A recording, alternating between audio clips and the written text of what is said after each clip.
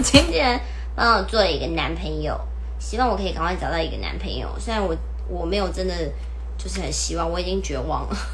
话不说死，但是我没有特别在怎么讲渴望这件事情。很临时开了一个直播，单纯只是因为今天是我过生日，然后今年生日呢就是嗯过得比较随便。因为疫情的关系啊，然后就没有特别想要过生日。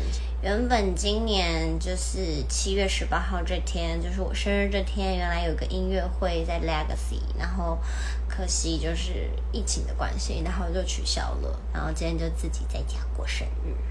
嗯，对。然后刚刚有回妈妈家，然后跟家人吃了个饭，然后上了一个跳舞课。这是我的。经纪人把我的那个生日小小心愿都做在这上面了，大家看得出来这是什么吗？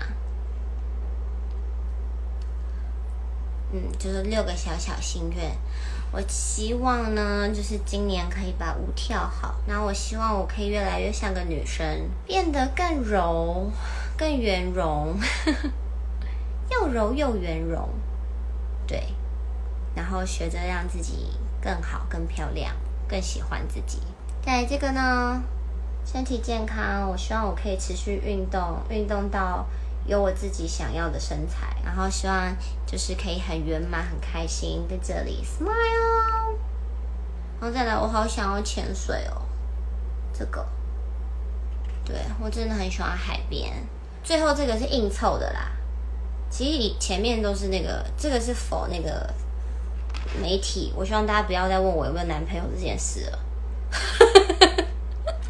就是我前几天帮我做了一个男朋友，希望我可以赶快找到一个男朋友。虽然我我没有真的就是很希望，我已经绝望了。